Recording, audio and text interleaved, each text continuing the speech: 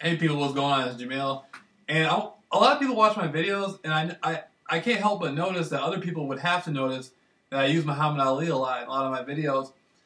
And I've said this a few times already, but there's an interesting story behind that. Uh, I live in, in Norton Shores, Michigan. Then next to me, there's Muskegon Heights, Michigan. Then Muskegon, Michigan. And there's Roosevelt Park.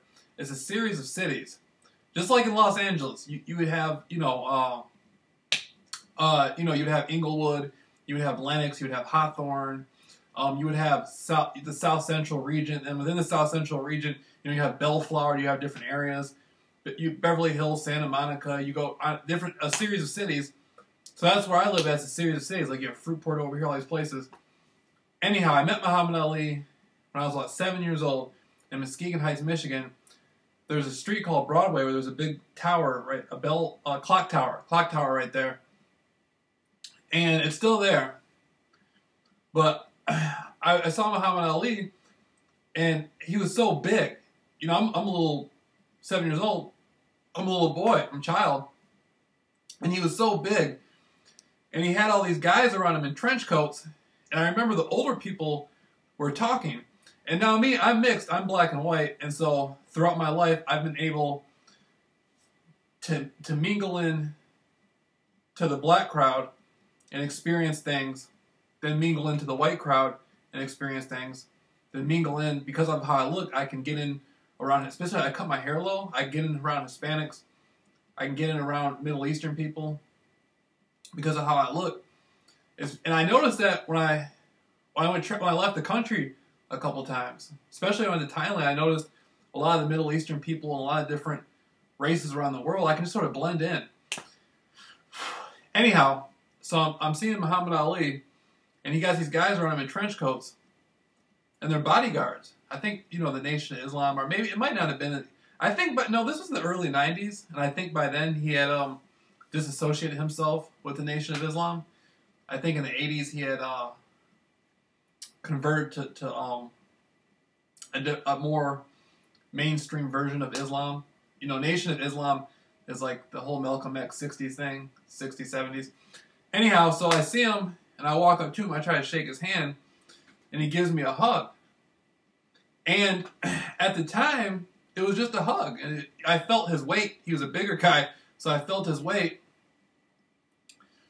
And at that point, I was like, okay, I met Muhammad Ali. I got a hug from him. Now, th- this many years later, when I'm going through the gang stalking thing, I'm figuring out how I'm going to be able to get through this, right? And the first thing that came to my mind, I don't know why it happened, it was Muhammad Ali. And I said, why am I thinking about Muhammad Ali so much? I don't really know very much about Muhammad Ali. I know I met him, but why am I thinking? You know, he was way before my time. I was born in '85. So, anyhow, I start I start looking at this little computer I got. I start looking at uh, videos of Muhammad Ali, and I noticed that, well, Muhammad Ali was around the same era as my research, the 60s and 70s. And so, you know, and so I started listening to him talk. And I'm like, wow, man, this guy, you know, he, he, uh, you know, he, he's all there. Like, he knows what he's talking, like, he, he's predicting what rounds he's going to beat people and everything. And so, uh, then I see he's not really winning these fights just because he's so fast and so strong. He is very fast and he is strong, but he was able to beat people way stronger than him. And he's doing this. I realize he's not doing this just because of his athletic ability. He's doing this because he has limited doubt. He doesn't have, he, he, he has very little doubt, almost no doubt that he will win the fight. And so I see him winning these fights. Right? And I'm like, this is fascinating, man. This guy, you know, he's gonna no matter what, he's gonna win this fight. And so, I mean, he did lose fights through his career, but the majority of the time, even when he lost fights, he still won because he kept that spirit going, and you know, he was he was winning. And I said, wow, man, I got to use this. And so when I first start making, when I get back to Michigan, at first I wasn't gonna go come back online at all. I was just like, man, whatever, forget the internet, forget this stuff, you know. Then I said, wait a minute.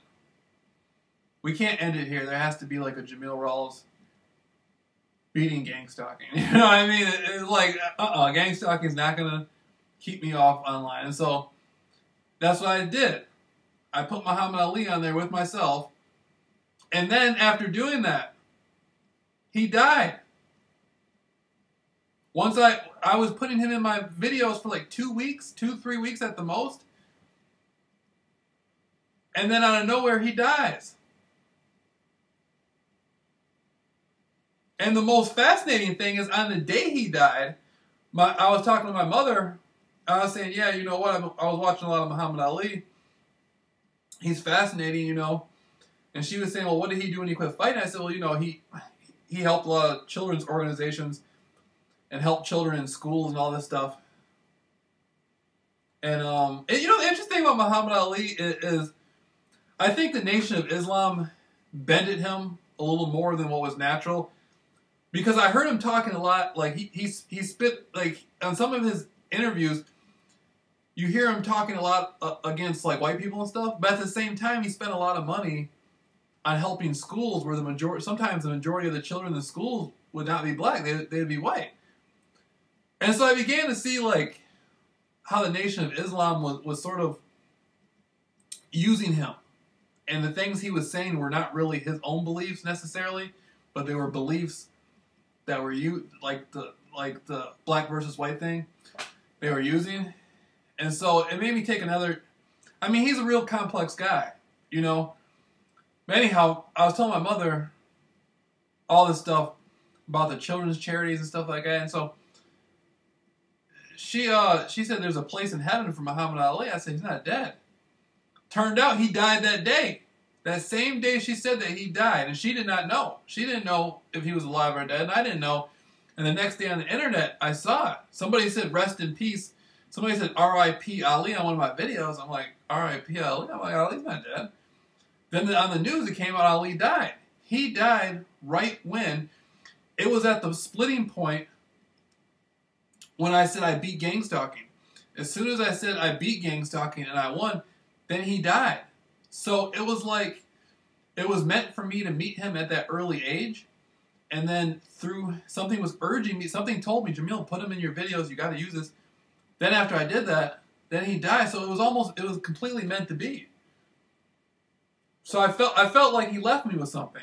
Like it wasn't over. Like I met him as a child, but it wasn't over. Before he died, he still got to leave me with something.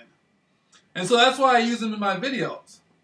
So if people wonder about me and, and Muhammad Ali, that's the story. He, he helped me beat gang stalking. Then the other part of the person that helped me beat gang stalking is this young woman, love of my fucking life, boy. She helped me beat it because if it wasn't for her, I would have had too much fear to come outside. I thought, you know, I thought, damn, what would she think of me? She saw me scared to die. And so that, so that's part of that. But with Muhammad Ali, I just saw like the Thrilla in Manila fight. That was that was a tough fight with Joe Frazier. And uh, the Rumble in the Jungle. I don't know what's my favorite, more favorite, Rumble in the Jungle or Thrilla in Manila. I don't know which one I like the most. But then that's when I saw him on the jump. Then when I saw Muhammad Ali on the jump rope, I was I felt inspired from that too. I said, man, you know, I'm overweight that jump rope's going to help me. And so the jump rope helped. There's a lot of other people who inspired me. Not just Muhammad Ali. There's a lot of people who've inspired me. But uh, he was one of the. He, he was like a big major part of it. He was he was a gigantic part of it, you know.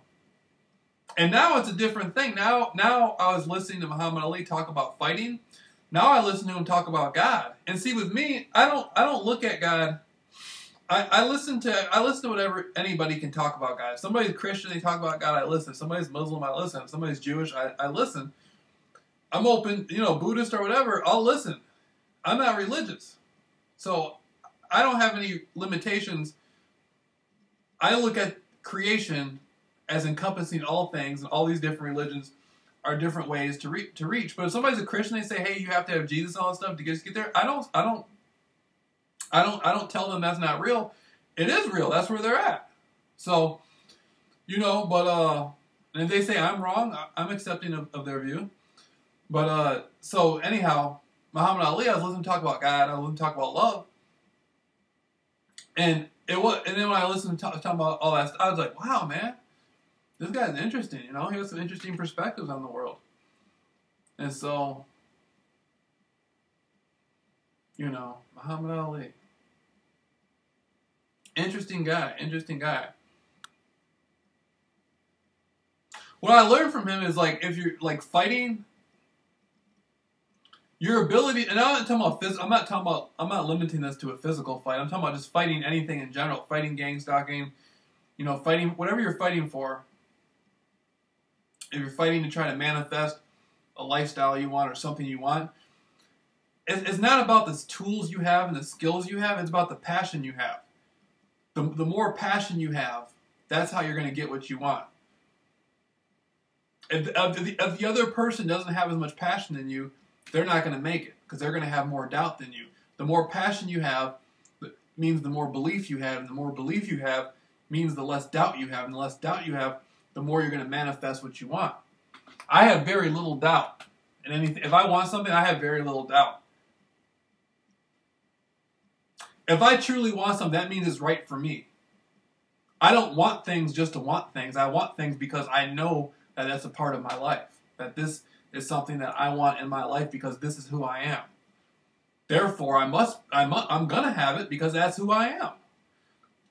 That's why I want things, and I, I have zero doubt in it. You know, so that's a lot. I, I just learned a lot of stuff from watching people. Muhammad Ali's turned out to be one of the greatest people I've learned from, and a very interesting guy. Very interesting. Is you know he spoke at Harvard College, Harvard University and he spoke at a lot of colleges, and, and he was a poet,